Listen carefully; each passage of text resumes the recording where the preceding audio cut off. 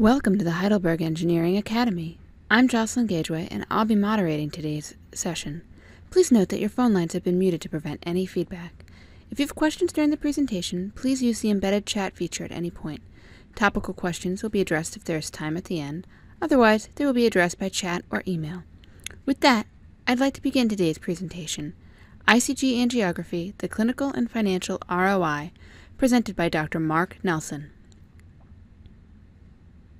Welcome to this Heidelberg-sponsored webinar titled ICG Angiography, the Clinical and Financial Return on Investment. My name is Dr. Mark Nelson, and I am from Winston-Salem, North Carolina. I have been a tireless advocate for ICG over the last seven years and have had the honor of being an adjunct professor of management at Wake Forest University. I am receiving a speaker fee from Heidelberg Engineering for the preparation and presentation of this course. The billing and payment information presented here are based on the practice experience of the presenter and are not intended as a replacement of Medicare regulations or other guidelines. Providers must verify applicable regulations with their local Medicare contractor and or private insurance companies. Responsibility for compliance with all Medicare rules and regulations rests solely with the performing provider. This information is not to be considered investment or legal advice, nor a promise of actual performance. When we talk about ICG, we will discuss its relevance to three important topics. Why should I get involved with ICG? ICG imaging provides information. With this information, I can explain the clinical phenomenon called persistent leakage during the course of anti-VEGF monotherapy. In addition, the data will provide financial information, and last will help create strategy that will, will create a high-quality, cost-effective treatment protocol for treating exudative age-related macular degeneration for all three stakeholders, patient, physician, and payer. The Spectralis imaging equipment has a scanning laser ophthalmoscope with digitalization, tracking, and excellent resolution. But what makes this device special it is its ability to image any two of seven modalities simultaneously.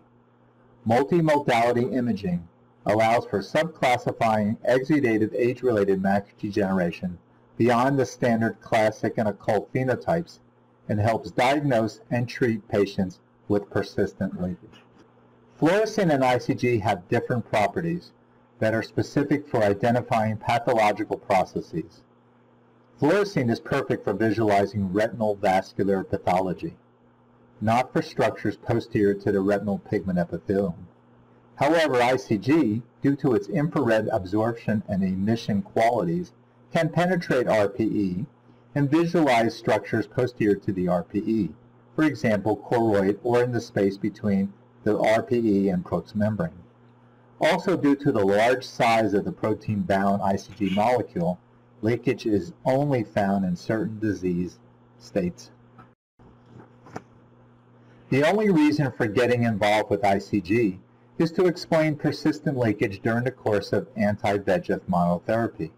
This is quite common, and when evaluated by ICG multimodality imaging, can be explained by two lesions. The first is arterialized neovascularization, which can be classic, localized anterior to the retinal pigment epithelium as shown here, or in the occult space posterior to the RPE and anterior to Bruch's membrane. The arterialization of immature neovascularization involves envelopment of smooth muscle and pericytes, mediated by PDGF, and associated with an attenuated response to VEGF withdrawal.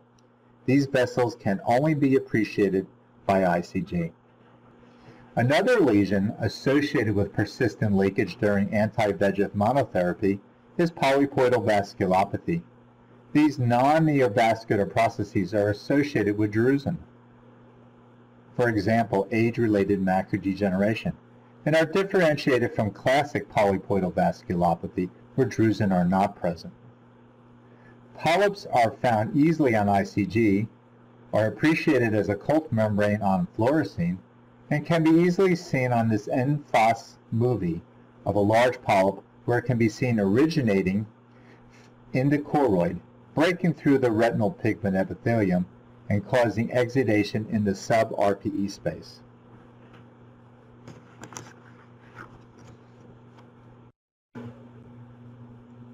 Once anti-VEGF resistant lesions are identified, rescue triple therapy utilizing ranibizumab, anti-VEGF, verteporfin, PDT, and triamcinolone acetonide, triesence, can be applied.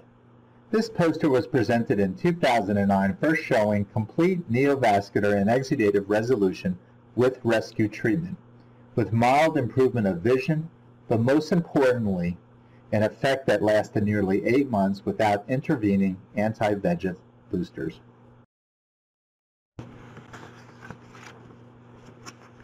The green circles identify the specific target, for example, the choroidal origin of the neovascularization, which is entered, which is entering the retina perpendicular and then branching to either side.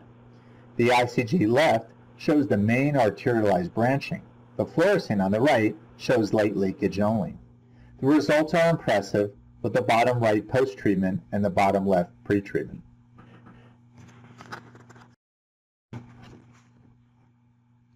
Here's a movie showing the complete resolution of neovascularization. The top photograph showing the pre-treatment and the bottom photograph showing post-treatment after combination therapy was applied.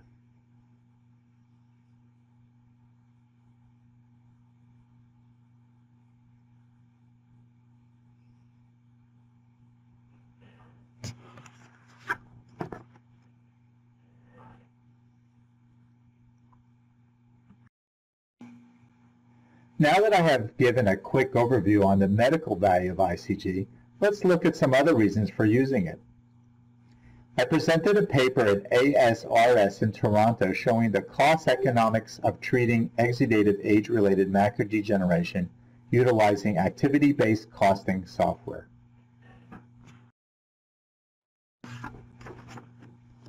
As you can see, margins, or as we see, revenue minus the expense, of utilizing OCT is far less than that of utilizing fluorescein and or ICG to evaluate patients with wet age-related macular degeneration.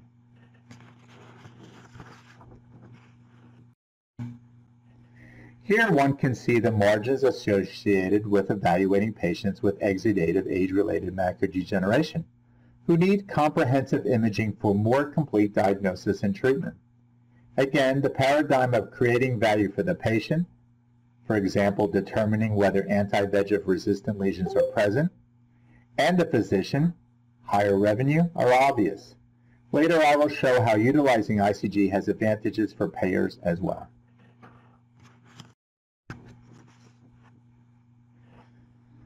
While the cost of the Spectralis machine is high, its return on investment is quite attractive due to the margins previously outlined.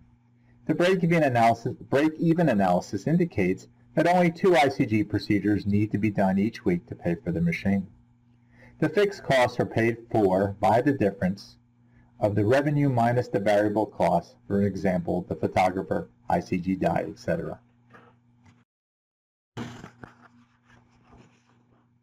I will now tackle a more sophisticated reason for entering to entertain the use of ICG. I have presented evidence that ICG identifies anti-VEGF resistant lesions. The presence of these lesions explain the concept of anti-VEGF resistance, which states that 10% of patients who are induced with anti-VEGF monotherapy will not have neovascular and or exudative resolution. And two, anti-VEGF dependence, which can be found in up to 40% of patients who respond during induction, however who leak during maintenance phase typically during the course of treatment extension, for example, a treat and extend protocol. These patients are typically those who require multiple injections. For extended periods of time, it will typically lose vision. As you will see on the next page, the anti-VEGF monotherapy is not profitable. and is associated with high treatment burden. At that same ASRS lecture, I showed that the process of performing intravitreal injections was profitable. However, when calculating, calculated after applying overhead costs, are associated with a negative margin, for example, a loss. This analysis does not include drug rebates, which is not available with all drugs. So if a patient is resistant or dependent on anti-VEGF monotherapy, why would you want to keep injecting drugs monthly at a loss with a clinic that is struggling to handle demands of anti-VEGF monotherapy? In 2013, I presented data to show that utilizing ICG-directed PDT triple therapy as a primary treatment was efficacious and was not inferior to standard of care protocols. More importantly, the duration of action was over 10 months, with again no intervening anti-VEGF boosters. When comparing a two-year cycle of treating exudative age-related macular degeneration, one can see that anti-VEGF monotherapy was associated with financial loss for the physician, high costs for payers, and numerous injections that created operational issues for scheduling and patient throughput. However, treating patients with primary ICG-directed combination therapy required less treatment days, mitigating treatment burden, creating a higher profit for the physician, and as mentioned above, non-inferior quality. Most important, payer relief is profound, which in the future will be critically important. So in summary, ICG allows for the management of persistent exudation during the course of anti-VEGF monotherapy by creating a target for combination therapy. Financially, the cost benefits of multimodality imaging can be evaluated by activity-based costing analysis. Operationally, treatment burden can be mitigated and can be accomplished by using combination therapy as a primary treatment modality in selected patients.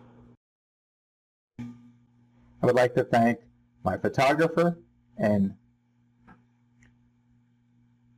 those who helped me with this analysis. Thank you. Thank you for attending this presentation of the Heidelberg Engineering Academy. This course has been recorded and will be viewable on heidelbergengineering.com. On behalf of all of us here at Heidelberg Engineering, thank you again and have a wonderful day.